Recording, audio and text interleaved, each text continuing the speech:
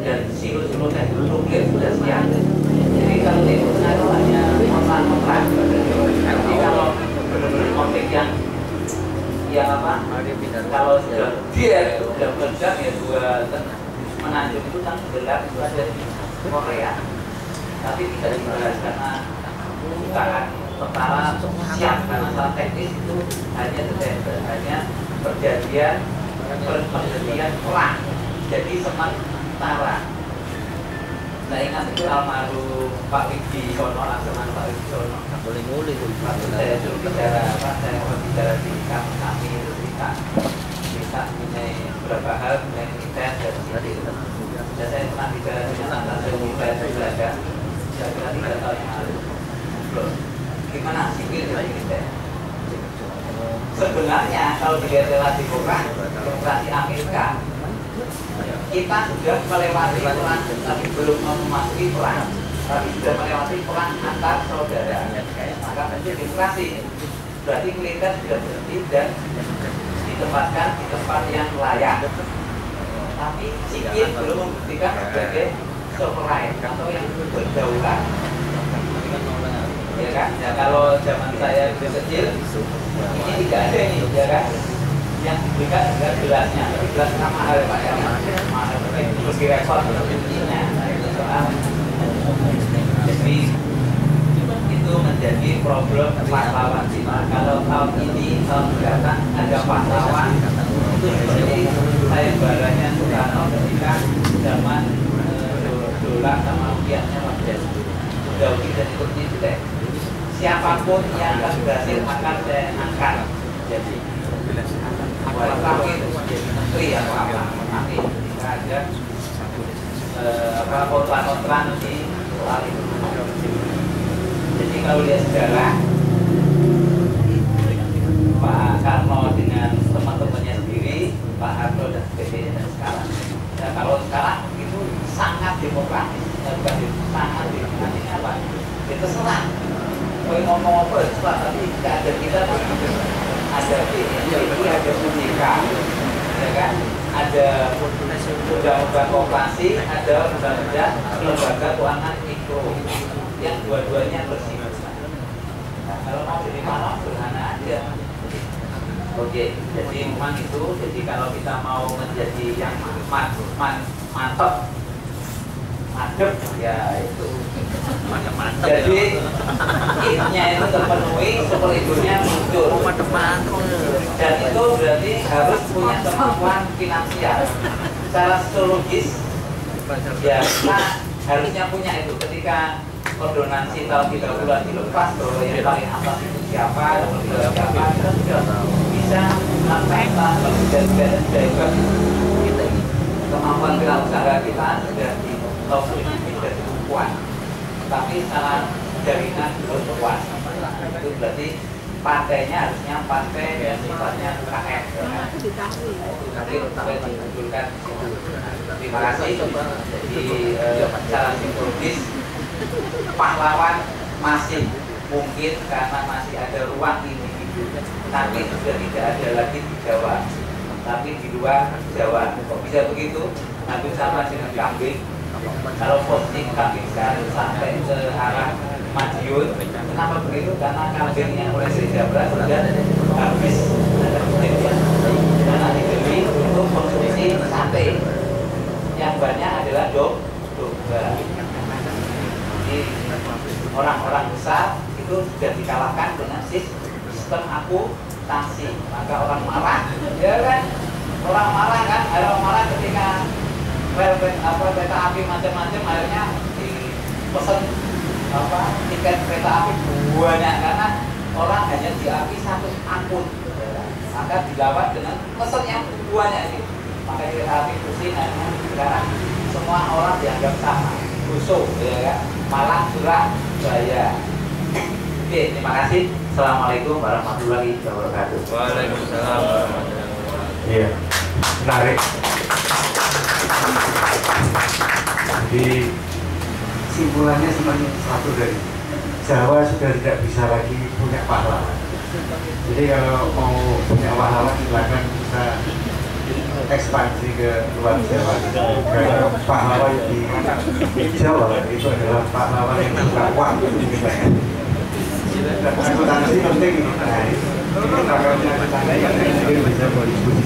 Tapi yang baik adalah yang luar biasa tadi dijelaskan adalah problem problem masyarakat kekinian. Problemnya adalah tidak bisa mendefinisikan dirinya sendiri, kemudian ego super ego, id-nya juga tidak bisa ditimbangkan lewat ego itu harus makan, kalau nggak makan nggak bisa jadi pahlawan, kalau nggak cerdas nggak bisa jadi pahlawan, artinya uang menjadi penting untuk jadi pahlawan. Makanya para calon presiden, gubernur, bupati, kota, bupati harus punya uang. Apakah begitu? Nah, ini perspektifnya Pak Bata ada masalah sosiologis masyarakat kita memandang realitas sehingga perlu ada redefinisi eh, kepahlawanan atau kita kembali memang beliau tidak mau tidak mau memberikan jawaban tapi saya tahu ini Bu Ari seperti apa silakan Bu Ari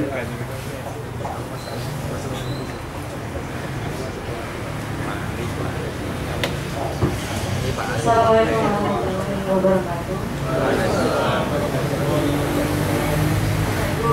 Ini adik-adik yang ditanyakan ya. Sebelum eh, saya mencoba menjelaskan apa itu pahlawan atau uang itu, eh, saya sadar itu saya bukan pahlawan. Eh, saya mau mencoba. Tadi Pak Adi sempat menjelaskan tentang kan kita kadang-kadang perlu ya namanya romantisme sejarah. Karena romantisme sejarah itu karena mungkin kalau dalam bahasanya Pak Fatah tadi membangun super ego kita. Ya. jadi ini adalah satu lagu yang sangat kita kenal baik eh, karena W.R. Supratman yang selalu setiap tanggal 17 itu menjadi formalitas yang kita nyanyikan cuma memang W.R. Supratman itu kalau mau melihat aslinya itu lagu Indonesia Raya itu tidak hanya satu stanza tapi ada tiga stanza Eh, ini kalau saya mainkan itu harus berdiri harusnya berdiri harusnya berdiri ya Indonesia Raya ini Pak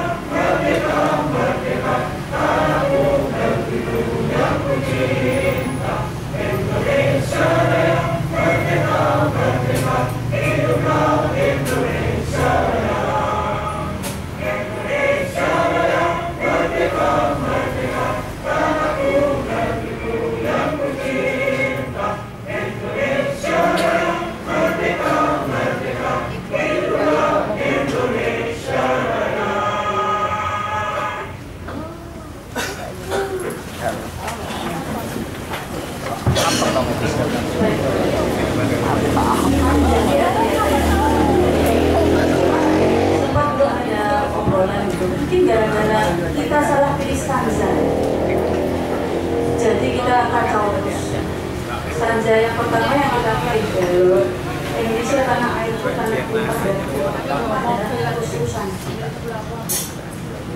misalnya aku berdiri di depan ibuku jadi stanza yang pertama ini keakuannya sangat tinggi jadi titiknya tinggi. Tapi kalau kita lihat stanza yang ketiga dan stanza yang kedua itu kita bisa lihat bahwa akunya sangat sedikit. Bahkan yang muncul banyak adalah kita.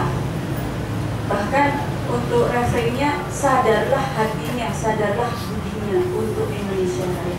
Sadar Rorek sadar jadi ini adalah suatu suatu uh, hal yang uh, sudah diciptakan oleh Pak Supratman. Yang saat menciptakan itu kemudian dilakukan uh, uh, tahun 28 Sumpah Pemuda. Nah, kalau kemudian uh, kemarin sempat nah ini ada diskusi kebangsaan nih menarik dari pemateri uh, ya, enak sih di saya bukan pahlawan. Tapi tadi ada pernyataan menarik dari uh, Pak Fatah ya, bahwa tidak ada pahlawan di Jawa. Kalau kita di Malang, Malang itu di Jawa, bagi yang belum tahu orang di Jawa. Pertanyaan saya sekarang kira-kira di sini ada yang ingin jadi pahlawan tidak? Nanti mati. Ada nggak? Ada ya? Tidak ada ya? Bahkan kalau kita lihat tadi ya, dengarkan lagunya ya. Kalau kita nih sekarang pas 17 Agustus nyanyi Indonesia Raya itu kan melo banget ya. Indonesia. Suaranya Melo. Padahal tadi kalau kita dengar itu semangat satu hari Indonesia. Seperti sepertinya saya rasa ada sesuatu yang hilang. Apa itu ya? Saya nggak ngerti psikologi, tapi saya rasa yang hilang adalah cinta kita pada tanah air yang sudah sudah hilang. Nah, kalau saya, kalau anda di sini masih pengen jadi pahlawan, maka saya rasa yang anda inginkan adalah mencari uang. Ya mohon apa deh? Karena saya rasa waktu Soekarno berjuang, waktu Rosroko Aminoto berjuang, tidak ada dalam pikirannya, "Eh, aku mau berjuang supaya terkenal. Jadi kalau Anda pengen jadi pahlawan, itu berarti masih mementingkan perut. Karena masih ingin diagung-agungkan.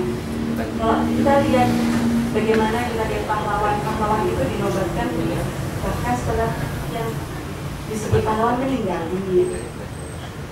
Jadi selama Anda hidup itu, kalau kemudian cita-cita jadi pahlawan, itu sama saja seperti mencari ketenaran, sama saja. Karena ketenaran sekarang identik dengan uang. Jadi saya berharap dan saya berdoa tidak ada dari kita yang ingin jadi pahlawan. Tapi saya berharap dan berdoa bahwa hari ini saya sungguh bahagia karena waktu diskusi di rumahnya Abah Suroto waktu itu ya itu yang datang cuma berapa ya kayak 20 mungkin? Kurang mungkin ya? 15an orang kemudian yang datang sudah kesepuhan gitu ya. Nah ini terus eh, yang terakhir sebelum ini waktu mendatangkan Pak siapa itu Cak Cak Cak Cacil ya eh, sama Datuk yang datang juga tidak sendiri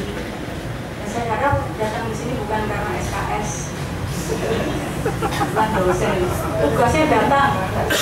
Dan nilai ini bahaya. Jadi kalau memang ada di sini karena itu sekarang pulang saja.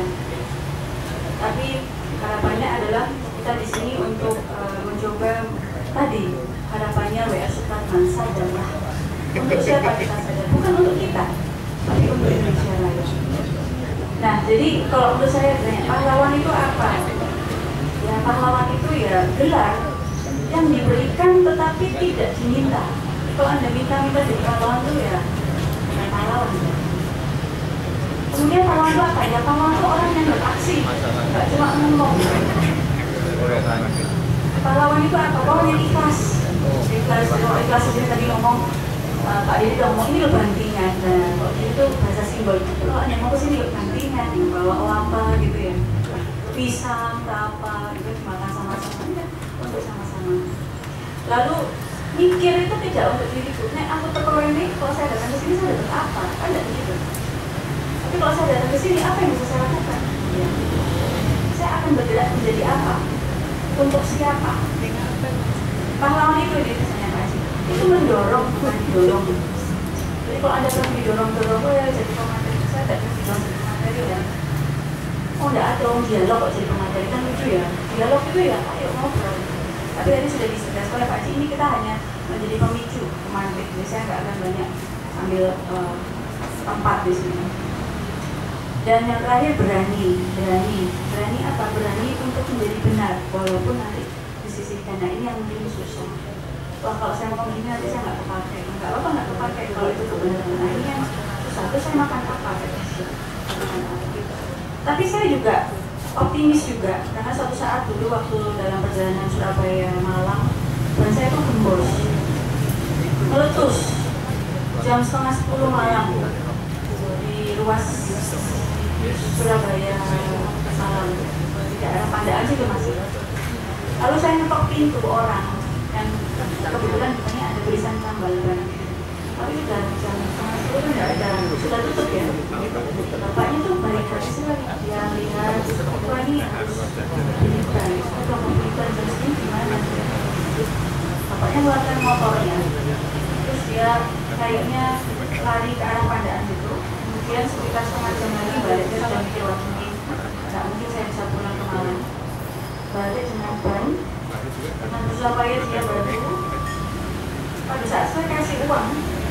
dia bilang buat sabun dan saya yakin yang ngomong buat sabun saya lihat kondisi rumahnya. Itu bukan rumah yang mungkin mewah seperti yang kita tempati. Tapi buat sabun saya rasa ini adalah sesuatu yang luar biasa. Ini jiwa-jiwa pahlawan itu kan ada. Tidak tidak ini. Kalau anda jadi pahlawan kan tidak penting dipuji. Nah kemarin itu sempat kita ada dialog kebangsaan juga ini nyuri-nyuri waktu. Soalnya kan tidak ada ya di kurikulum ya. Jadi kita kumpulkan mahasiswa beberapa kelas ayo kita dialog kebangsaan terus habis itu setelah acara ya alhamdulillah kok ya ada yang datang. Dua orang pan ya dua orang. Saya tergerak pak. Saya pengen melakukan itu. Yang saya lakukan harusnya gimana sekarang? Karena saya merasa apa ya ter, tersinggung apa itu tersinggung terlecehkan karena saya merasa belum melakukan apa pun. Nah itu bagus sih. Cuma sebetulnya e, kalau pertanyaannya adalah saya harus melakukan apa? Menurut saya itu berarti kita bisa jadi kurang peka. Kurang peka apa ya? Kurang peka tentang realitas e, sosial yang kita alami. Nah kalau mau jadi pahlawan ya tidak usah tidak usah tanya apa saya mau ngapain jelas kita harus melihat realitas realitas yang ada. Pahlawan itu ada susah juga. Nah, jadi yang paling mikro kalau katanya hadis adalah kalau ada duri di jalan itu kita ambil gitu ya. Nanti kita masuk surga. Ah, kisah begitu ada hadisnya. Tapi ya itu adalah disebut disebut itu adalah iman yang terkecil itu realitas mikro. Tapi realitas makro tadi sudah sebutkan. Tadi hari ini saya baca dalam pos. Hari ini menyampaikan bahwa penganggur tanpa 320 menjadi 7,56 juta. Dari tahun lalu 7,24 juta. Di satu sisi kita dihadapkan pada realitas bahwa sekarang eh, Kementerian Ketenagakerjaan per Januari hingga nanti Juni 2020. 2016 itu nanti akan memasukkan hingga 41 ribu tenaga kerja dari Cina. Ini kan ada. Nah, kita mau apa? Ya, jangan tanya kita mau apa, kita bisa apa? Gitu. Saya rasa kita semua adalah bangsa yang kreatif, tapi kalau kita cuma dari kita mau apa, itu tadi yang dikatakan Pak Pata adalah mental kalah. Nah, kalau kita bisa kemudian uh, lihat ini, maka kita bisa melakukan aksi saya akan mencoba masuk ke tadi kepahlawanan zaman lalu. Pahlawan zaman lalu itu yang disebut dengan melakukan aksi itu sama dengan siap berkorban. Siap berkorban, ya alhamdulillah Anda sudah berkorban saya. Walaupun korbannya tidak banyak dibandingkan pahlawan kita ya. Korbannya cuma korban waktu dari jam 7 sampai jam berapa? Jam 8.44 Saya maaf, jam katanya mungkin sudah jadi capek karena masalah pusing.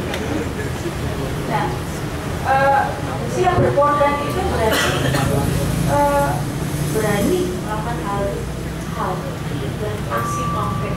Nah, contohnya, kalau Cokro Aminoto itu uh, sudah mendirikan Syarikat Islam. Dia beliau lahir tahun 8, uh, 1882, 1912 sudah bikin Syarikat Islam. Itu sudah 30 tahun tuh.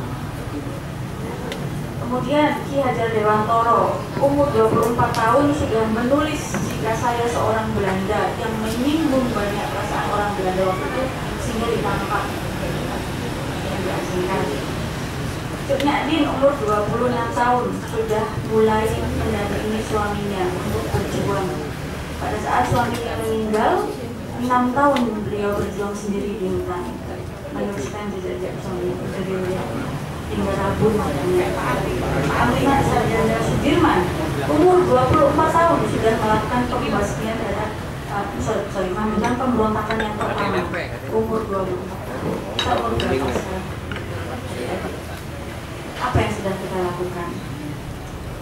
Jadi, nah ini sekarang bergeraknya kan gini, kita mau bergerak kecil-kecil atau mau bergerak ke depan? Bergerak ke depan itu bergerak terencana kita punya visi atau kita bergerak sporadis ah pokoknya ini saya bantu ini saya dua-duanya oke cuma kalau kita bergerak ke depan secara struktur kita punya kekuatan kita tidak hanya kayak tadinya ada sudah mulai sinergi ada sinau embongan gimana kalau kita kemudian bersinergi dengan lebih baik maka kita punya gerakan yang terstruktur yang lebih baik saya rasa itu jadi pertanyaannya adalah mau kita di dan kapan kita mau bergerak jadi hari ini adalah suatu hari di mana kita bisa menyaksikan harapan, harapan saya balik ya.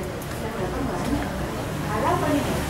Harapan saya cuma jangan malam ini tau gitu kan. Nanti ada diskusi lagi ya datang lagi gitu. Tidak cuma datang, nanti kita aksi-aksi, ayo aksi.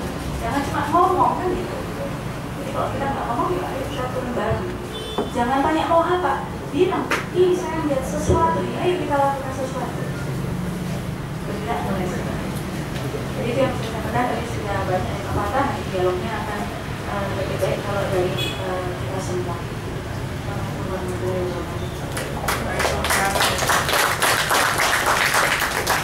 Ya kalau tadi Pak Bata mempertanyakan realitas, kalau mau jadi pahlawan bisa dengan syarat seimbang lahir batin. Nah kalau dalam bahasa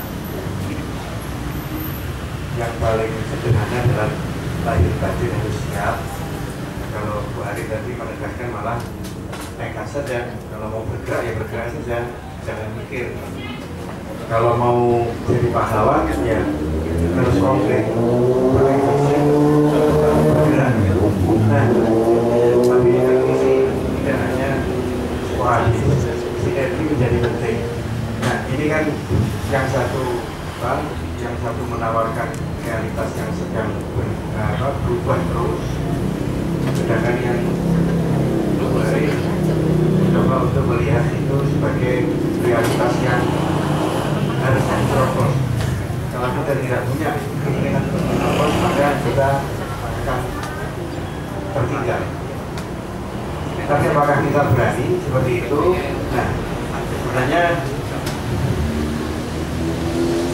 realitas yang saat ini itu kan juga memang realitas yang mungkin saja sama dengan realitas yang lalu masa lalu sejarah masa lalu. Sehingga ada eh, perubahan-perubahan yang fundamental di masyarakat. Tapi sebelum kita diskusi, silahkan kalau sudah mulai ngantuk silahkan pulang. Kalau masih mau tunggu silahkan diskusi ini. Kalau mau jadi pahlawan silahkan kita berdiskusi. Rencananya saya sampai jam 9 tapi ini sudah hampir habis. Kalau mau pulang monggo tidak dilarang. Tapi kalau masih mau jadi pahlawan silahkan bertunggu. Ya. Nah, silah- eh, sebelum masuk ke ruang diskusi, ini ada teman-teman yang mau baca puisi, silahkan Mbak Misrina, Mbak Nurin, dan Mas Riza. Silahkan maju ke depan kalau yang mau calon-calon pahlawan ke depan kalau mau jadi pahlawan.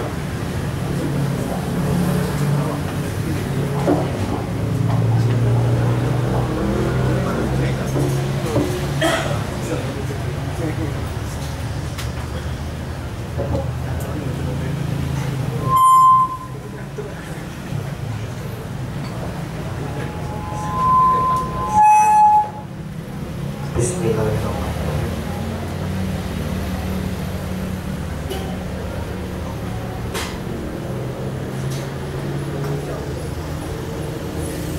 Puisi ini dibuat oleh host Joko Winoto.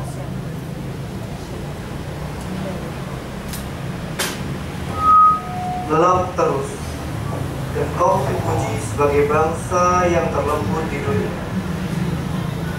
Darahmu dihisap, dagingmu dilalap, sehingga hanya kulit yang tersisa. Siapa pula tak memuji sapi dan kerbau? Orang dapat minumnya kerja dan makan dagingnya. Tapi kalau mereka tahu hak-haknya, orang pun akan menawarkannya pongah. Karena tidak mau ditindas. Bahasamu terpuji halus di seluruh dunia dan sopan pula. Sebab karena kau menegur bangsa lain dalam bahasa kromo dan orang lain menegurmu dalam bahasa moko. Kalau kau balikan, kau pun dianggap kurang ajar. Terima kasih.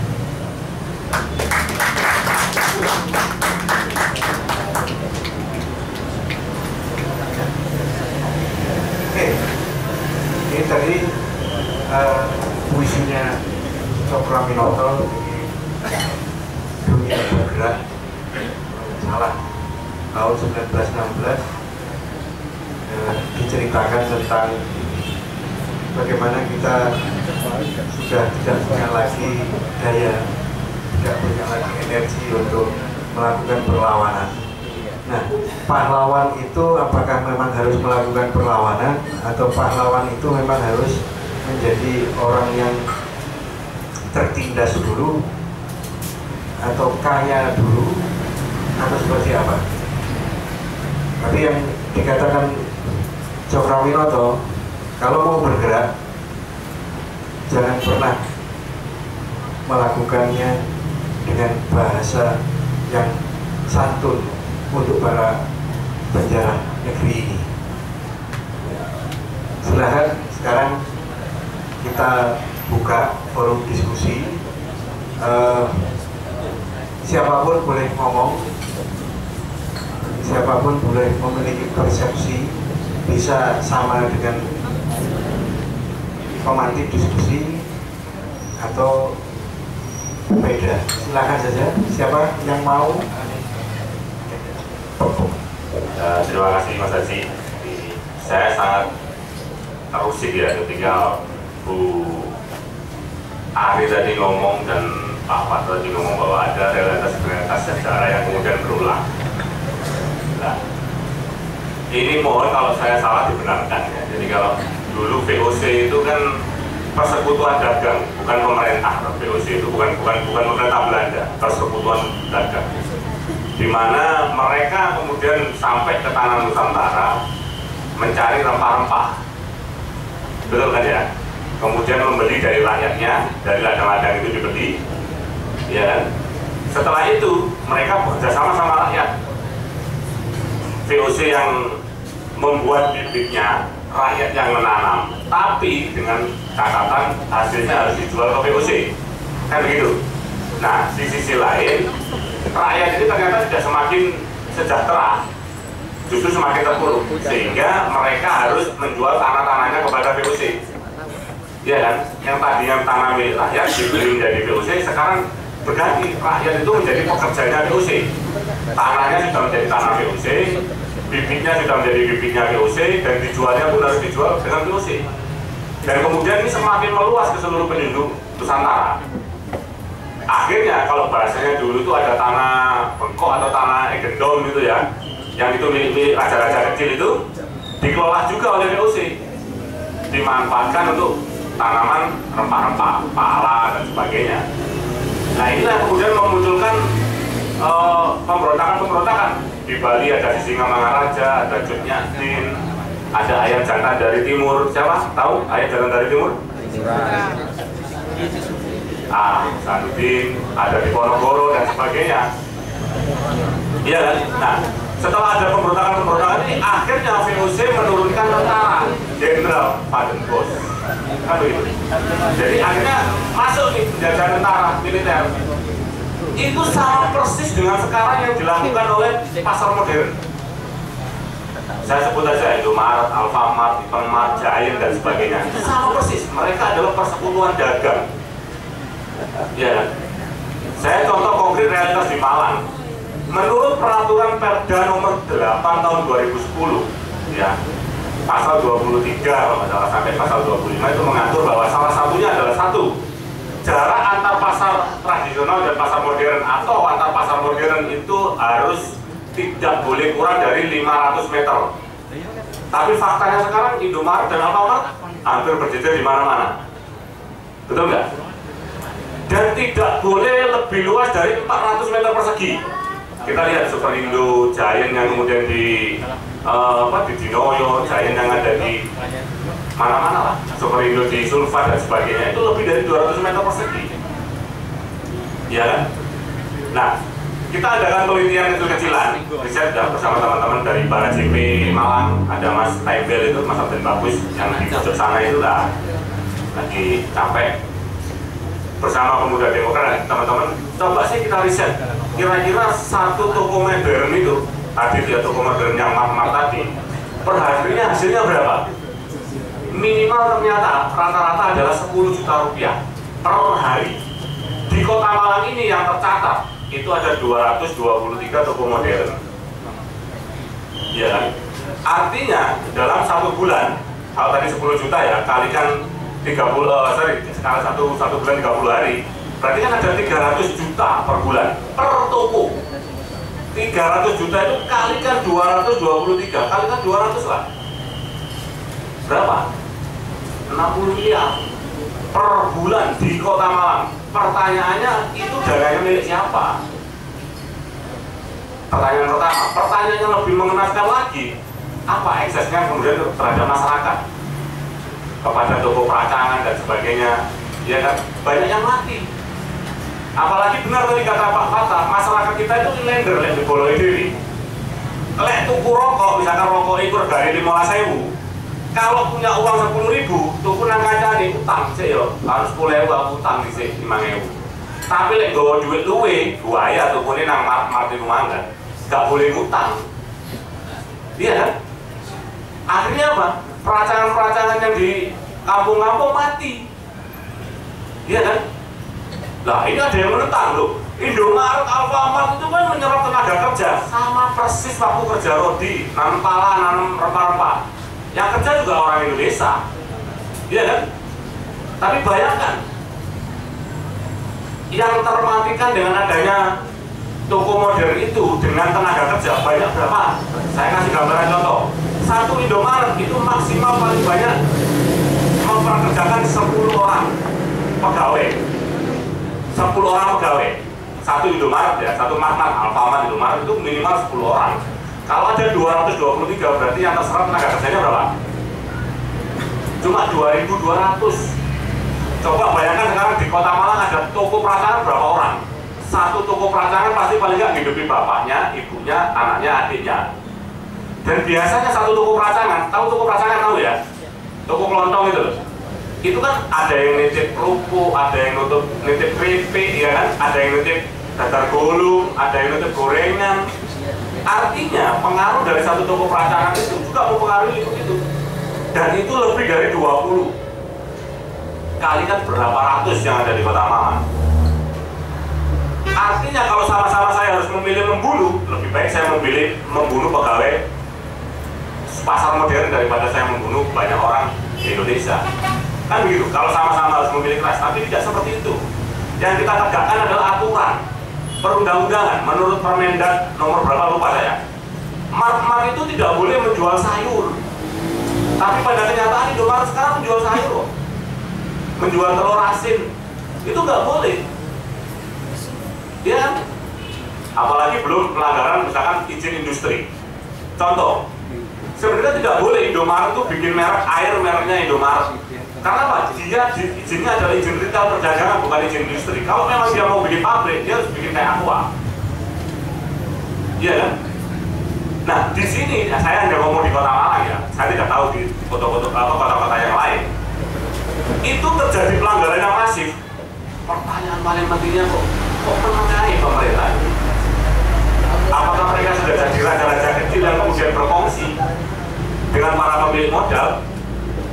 Ingat Indomaret awal-awal itu sudah, sudah menjadi TBK loh ya, sudah menjadi modal asing. Sama persis kayak VOC. Dulu kalau VOC hanya dimiliki kerajaan Belanda, tapi sudah dimiliki banyak orang. Tapi esensi realitasnya adalah kita tetap sama-sama terjajah. Iya kan? Celakanya ya mungkin termasuk saya dan teman-teman lebih senang belajar di mart daripada di pasar tradisional. Nah ini yang kemudian bahasanya Bu Ari tadi, masa saya kita realitas se- seterpampang itu kita nggak sadar gitu. Itu kan realitas yang jelas. Kok kita nggak sadar, nggak pernah mengkritisi?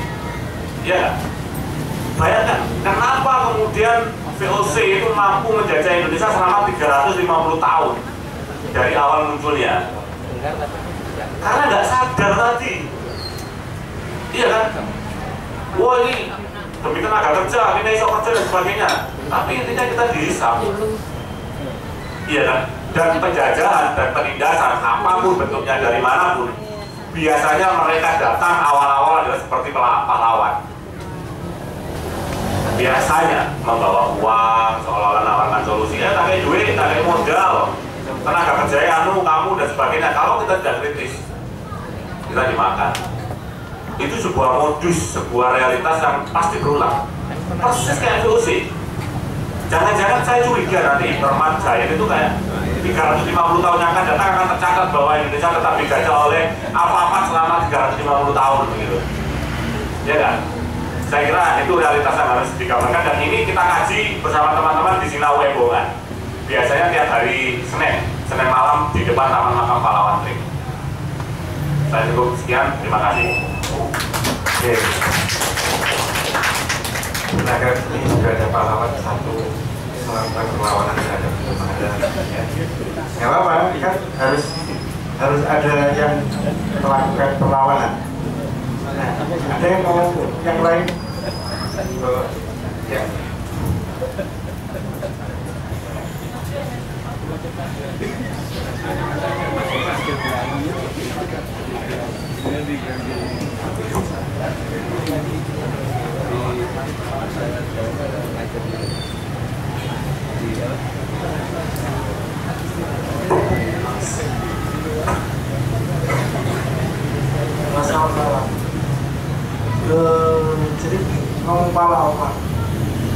Kalau saya ingat eh, pahlawan yang pertama perjuangan itu sebenarnya mudah banget lawan penjajah Batak sangat sulit ketika lawan penjajah dari dalam nah yang bukan katanya Pak Pak Wahyu tadi. Terus sekarang kita terjajah Indomaret Alfamart di Tormar kemarin apa cuma seperti uh, ada satu kisah ketika saya menggeluti Trans sebagai special researcher eh, baik mahasiswa, asisten dosen maupun belum aktivitasnya kan kampus. Eh, banyak orang yang bilang Pancasila itu aneh. Pancasila itu ya wes lah, ngapain kamu buat amputasi Pancasila? Ngapain kamu merubah merubah apa nanti ya wes lah kapitalis kapitalis toh eh, buat toh produk-produk kita lebih modern kalau, kita kalau kita kapitalisnya semakin murni dan semakin ditingkatkan nah ini yang gitu realita harus kita sadari bahwa sebenarnya. Penjajah itu bukan hanya dari saja tapi dari dalam dalam kita sendiri kita yang sudah jadi dosen, kita yang sudah jadi mahasiswa, kita yang jadi eh, yang, yang sudah kerja. Sebenarnya kapitalisme penjajahan itu sekarang lawannya bukan pihak luar aja tapi individu lawan individu ini harus kita sadari. Bahkan ke waktu saya ke 2013 Kongres Pancasila ada satu profesor eh, Pak Sadi Baritwan kalau nggak salah profesor UGM ngomong ngapain Kongres Pancasila ini diadakan sudah nggak penting ngapain? Udahlah ikut aja model-modelnya. Yang sekarang itu kita pasar bebas kafe-kafe dibebas udahlah Terus pasar bebas itu mendatangkan banyak manfaat, mendatangkan gross national income, dapat nasional dan segi makro ngapain? Nah, dan asumsi-asumsi makro inilah yang membuat saya kita terlalu tenang. Kita terlalu tenang dengan kebijakan yang ada. Kita terlalu tenang dijajah oleh asing. Bahkan saya sering bilang, kita ini sebenarnya senang loh kalau dijajah ini.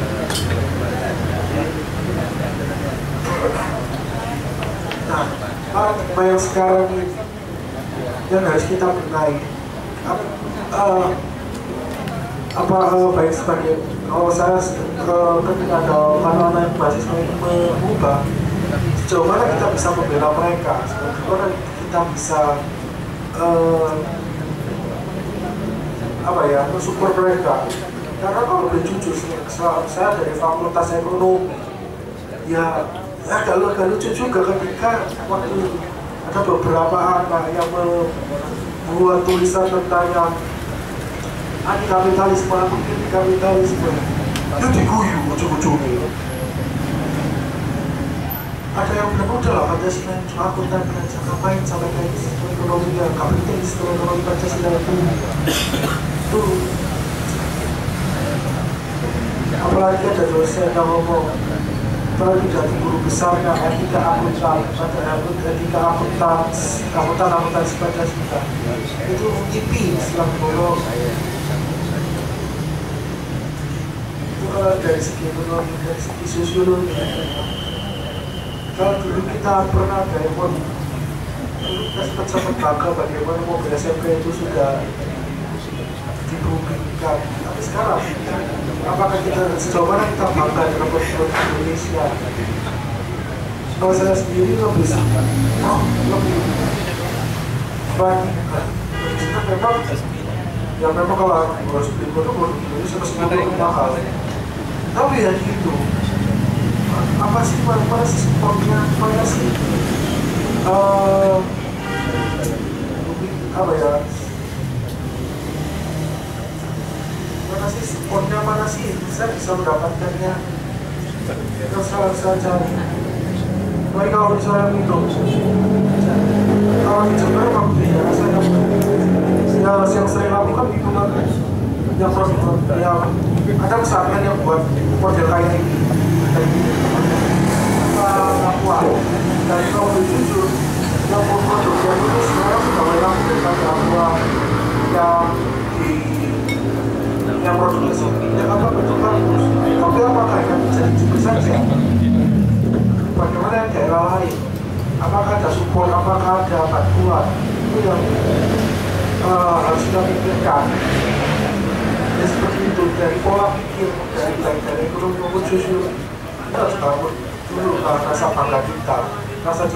rasa nasionalisme kita. Seperti itu. Ya mungkin agak kalau murid-murid gede. Ya maklumi saja. Muridnya terima kasih. Oke, jadi ya memang saya pernah riset uh, rutin gitu ya di kampus terutama pada jurusan akuntansi ya coba sudah enam tahun ini saya riset ketika ada pilihan apa model ekonomi. Ternyata mahasiswa kita itu memang tanpa sadar sudah punya cara berpikir bahwa yang paling penting adalah diri kita ego ini oh bukan ya it it, it kita jadi yang paling penting ya saya harus hidup dulu. Tidak perlu berpikir tentang realitas yang lain dan itu ternyata 60 persen atau 70 persen. Bahkan saya di kelas itu sering ngomong begini ternyata kalau kalian memang memilih tidak perlu Pancasila eh, ya coba sih berani kan kira-kira mahasiswa itu bikin surat atau petisi gitu ya kepada negara, kepada DPR atau MPR sudah buang saja Pancasila ke tempat sampah karena negeri ini sudah kapitalistik dan itu saya juga baru tahu kalau ternyata dosen-dosen di kelas-kelas itu bunyinya juga Pancasila sudah tidak penting. Bahkan di Kongres Pancasila tadi Pancasila nggak penting yang penting kapitalistik aja. Jadi namanya sudah tergugurkan. Karena mahasiswa akuntansi dan katanya Pak Fatah tadi akuntansi itu menjadi penyakitnya ya banyak nih mahasiswa akuntansi yang calon-calon kapitalis murni yang akan menjarah negara. Karena kata kuncinya Pak Fatah dan akuntan akuntansi lah yang akan menghancurkan Indonesia. Oke eh, silakan siapa lagi yang mau ngomong? Iya Pak